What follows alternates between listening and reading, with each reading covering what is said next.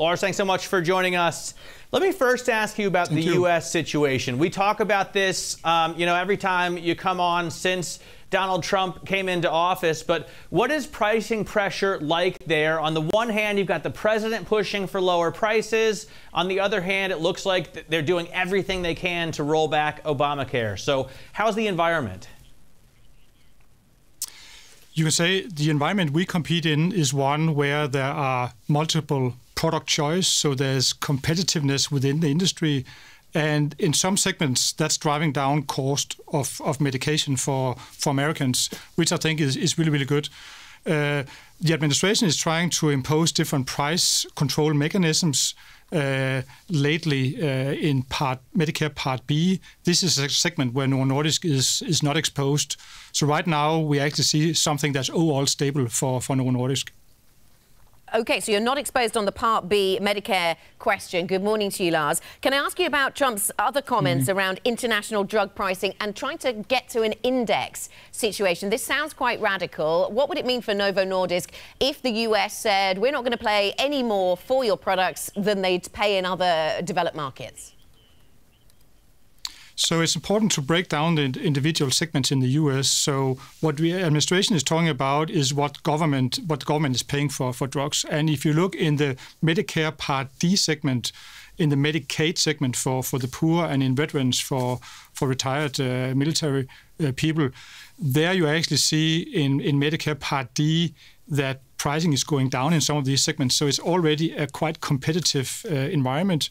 Uh, I think it's different in Medicare Part B and I also observed that some of the government uh, officials have been out saying that, you know, uh, focus now Medicare Part B. Early on this year, uh, they asked the industry to pay a larger part of the coverage gap. So, uh, come 19, we'll see that we'll be impacted in the Medicare Part D. That's an old case. Uh, so, I actually think the US government is getting a actually quite attractive price for our products uh, in the US market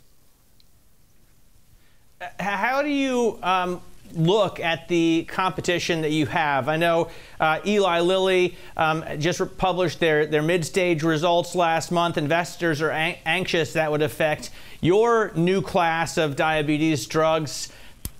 How's the horse race coming along? So I think it's important to note that what drives value of a market is continued innovation. And I actually think it takes two strong companies to drive the value of a market. So I welcome innovation also from Eli Lilly. And, and if you look at the history in the GLP-1 segment, there's been a, a, a change in, in, in, in products over time. And now we see that right now Novo Nordisk is actually winning based on our latest innovation, Ozempic.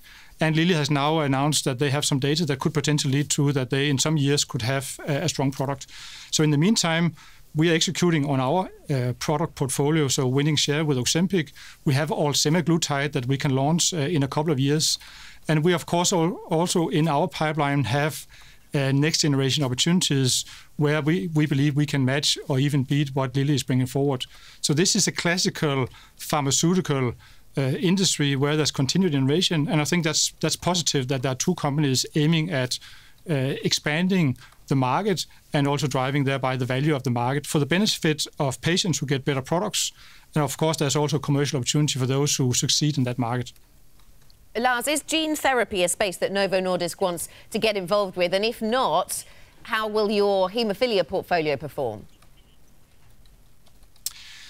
So we are not yet active in gene therapy. Uh, there are a lot of opportunities uh, taking place out there what we are focusing on is actually stem cell-based therapy, uh, not particularly in, in hemophilia, uh, but working with cells is something we know really, really well. So we are we are investing significantly in uh, in stem cell-based therapy. We have in hemophilia other opportunities uh, for actually competing uh, on the longer term, but right now it's not based on gene therapy.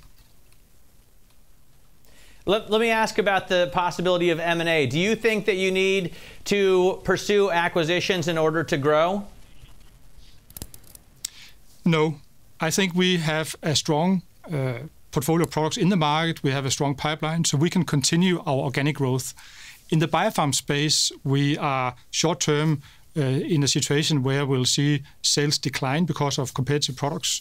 We actually did announce yesterday a small acquisition in the biopharm space where we are getting in a, a, product that can help diagnose growth hormone deficiency in adult patients. And this is a market we're focusing on. So we think that's a, a strong addition to our uh, portfolio.